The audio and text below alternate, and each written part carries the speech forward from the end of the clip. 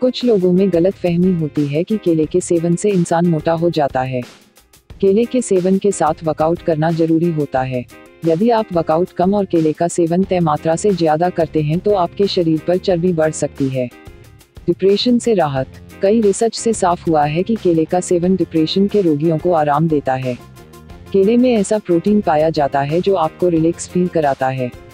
यही कारण है कि डिप्रेशन का मरीज़ जब भी केले का सेवन करता है तो उसे राहत मिलती है।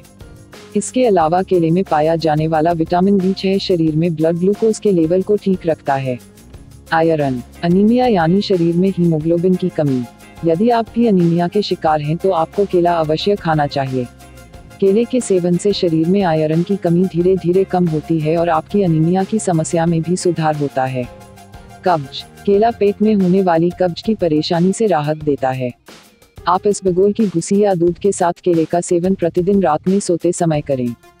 ऐसा करने पर आपको पेट में होने वाली कब्ज और गैस की समस्या से राहत मिलेगी।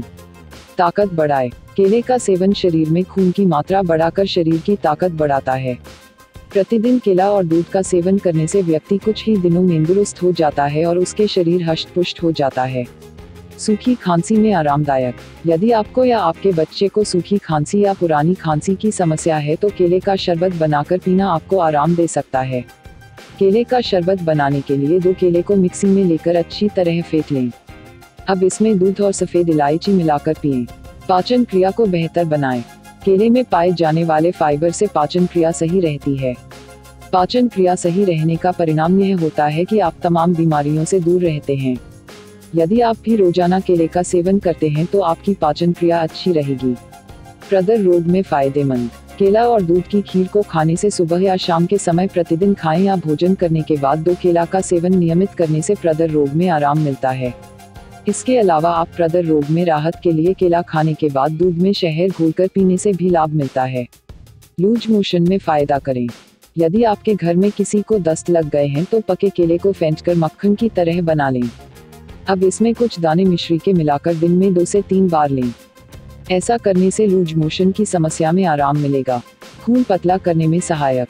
केले का सेवन खून को पतला कर धमनियों में रक्त का संचालन दुरुस्त करता है। केले में पाया जाने वाला मैग्नीशियम शरीर में जाकर रक्त में कोलेस्ट्रॉल की मात्रा को कम करता है।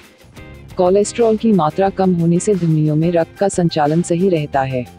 अगर आपको हमारा यह वीडियो अच्छा लगा हो तो प्लीज़ इस वीडियो को लाइक, कमेंट और शेयर कीजिए।